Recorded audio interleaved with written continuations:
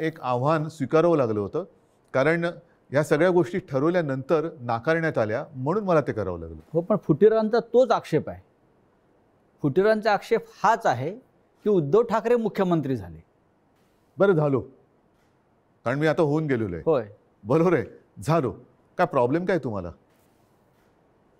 पण म्हणून तुम्ही ज्या बाळासाहेबांचा फोटो लावताय त्या बाळासाहेबांच्या पुत्राला गादीवरनं खाली उतरवलं इतके अडीच वर्ष किंवा त्याच्या आधी सुद्धा एका भर सभेत त्यांनी राजीनामा दिल्याची क्लिप ती सुद्धा आहे ना. म्हणजे भार- भारतीय जनता पक्ष कसा अत्याचार करतोय शिवसैनिकांवरती ही ती क्लिप आहे. आणि मीच माझ्याच समोर त्यांनी तो राजीनामा दिला होता. आता तो एकदम फुटीरांचा असा एक आक्षेप आहे की शरद पवारांनी उद्धव ठाकरेंना मुख्यमंत्री करून शिवसेना संपवली. आज जे गावोगावी दिसतंय ते काय गावोगावी दिसते ते काय बरं आधी भाजपाबरोबर सत सत्तेत किंवा युतीत होतो तेव्हा भाजपा त्रास देतोय. आता भाजपा त्रास देतोय आणि आपल्याला खोटं ठरवतोय आपल्याबरोबर ठरवलेल्या गोष्टी नाकारतोय म्हणून महाविकास आघाडीला जन्म दिला तर काँग्रेस राष्ट्रवादीवाले त्रास देत आहेत. मग नेमकं तुम्हाला हवं तरी काय? नाही नाही मी माझाही हाच प्रश्न आहे की त्यांना नक्की काय हवं आहे त्यांना त्यांची लालसा स्वतःला मुख्यमंत्रीपद ते त्यांनी अत्यंत वाईट पद्धतीने मिळवलं आणि शिवसेना प्रमुखांबरोबर तुलना करायला लागले की ही आमची शिवसेना म्हणून. हो कारण शिवसेना प्रमुखांशी तुलना आपण म्हणजे तरी आणि आणि हे बघितल्यानंतर मला नाही वाटत भाजप त्यांना पुढे कधी अं, स्वतःत घेतील. कारण ते नाहीतर नरेंद्रभाईंबरोबर तुलना करायला लागतील स्वतःची. आणि पंतप्रधान पद मागतील.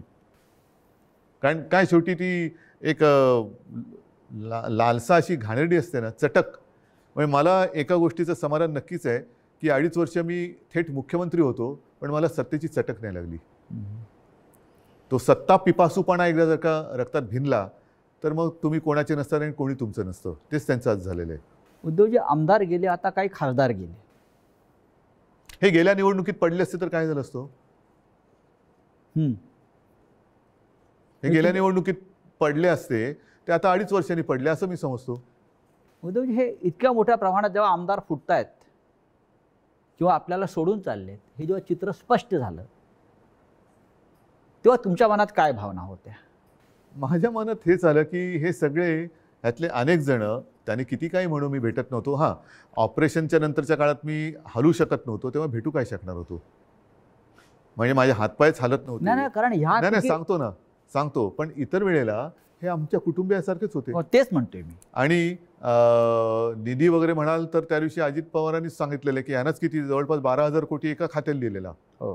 त्याच्यानंतर काही ठिकाणी शेवटच्या क्षणाला जेव्हा मला असं वाटलं तेव्हा काही ठिकाणी मी स्थगिती दिली होती निधी वाटपाला आणि आमच्यात बोलणी सुरू होती. अगदी. शरद पवारजी असतील अजितदादा जयंत पाटील बाळासाहेब थोरात यांच्याबरोबर की नाही हे निधी वाटपाचं जर का असमानता असेल तर ती आपल्याला सोडवली पाहिजे. आणि तशी अधिवेशन सुरू असताना अशोकराव आपले चव्हाण यांच्यासोबत बसून आम्ही त्यांच्या खात्याचा विषय सोडवला होता. बरं सगळ्या आमदारांना मी आता बैठका पुन्हा सुरू केल्या होत्या. एका बाजूला माझे आमदार बसायचे एका बाजूला प्रशासन बसायचं. काम कुठे अडलेलं आहे? मग सगळ्यांचं झाल्यानंतर मी मुख्यमंत्री म्हणून तिथल्या तिथे काही सूचना देत होतो. सगळ्या आमदारांना विचारायचो आता काय प्रॉब्लेम आहे? साहेब काही नाही. बस तुम्ही आता परत भेटायला लागलेले आहेत अशी भेटत राहा आम्हाला बाकी काही नको. आणि हेच माझं म्हणणं होतं की जर तुम्हाला हे करायचं होतं तर तुम्ही समोरासमोर येऊन बोललात का नाही? डोळ्यात डोळे घालून का बोलण्याची हिंमत तुम्ही केली नाही? म्हणजेच तुमच्या मनात पाप होतं. हे आमदार जे आहेत हे आधी सुरतला गेले मग गुवाहाटीला गेले मग पुन्हा गोव्याला आले अशा प्रकारे त्यांनी एक पर्यटन केलं.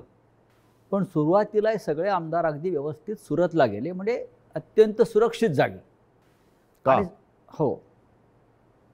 अनेकांचं असं. कर्नाटकात का नाही गेले? मध्य प्रदेशात का नाही गेले? पहिले गोव्याला का नाही गेले? पहिले गुजरात राजस्थानला का नाही गेले? पहिले गुजरातीतच का गेले? ते हैदराबादला गेले नाहीत.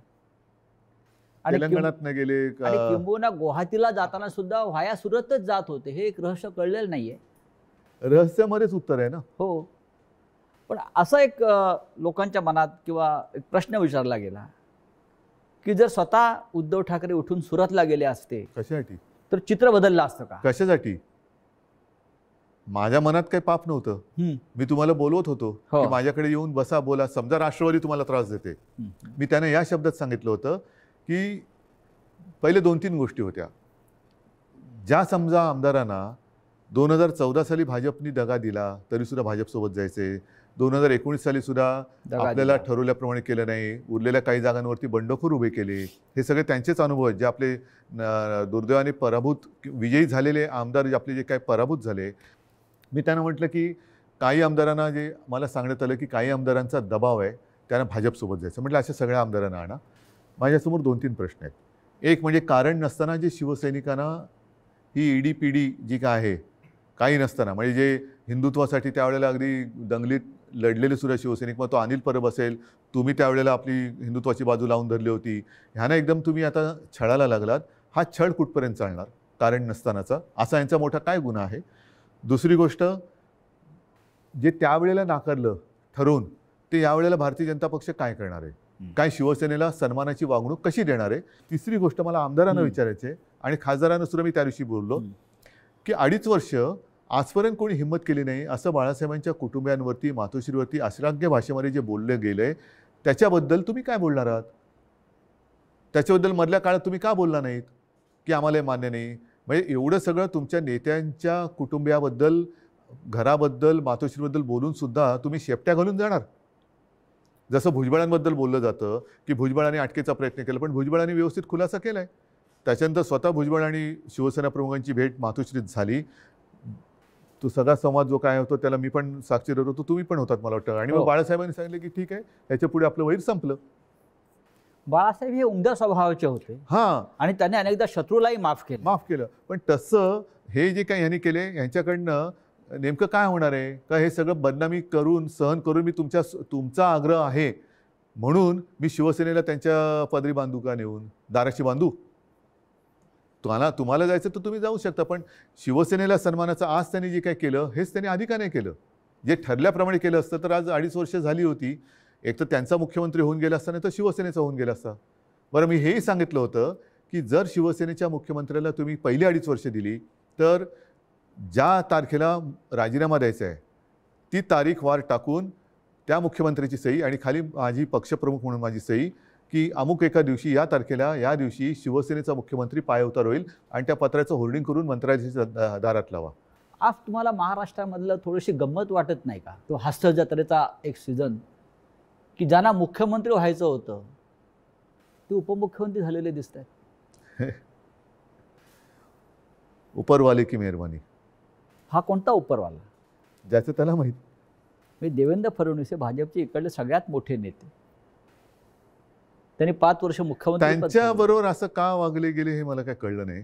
ठीक आहे आता तो त्यांचा पक्षांतर्गत विषय आहे की त्यांच्या पक्षातले अनेक जुने जाणते निष्ठावान जे त्यावेळेला युतीत आणि आज सुद्धा माझ्या संपर्कात आहेत.